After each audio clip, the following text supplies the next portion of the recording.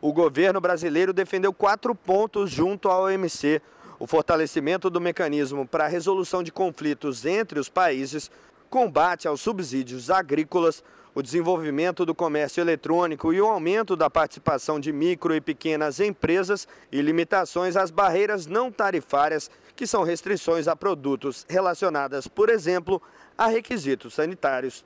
A nossa pauta de quais são as condições fundamentais do ângulo brasileiro para serem desenvolvidas dentro da Organização Mundial do Comércio. E as prioridades são quatro.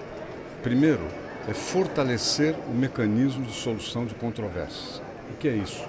Quando um país tem um comportamento contrário ou frontalmente contrário às práticas do livre comércio, que são vulneráveis às regras existentes, a possibilidade de outros países entrarem na OMC com um processo, com vistas a obter uma mudança.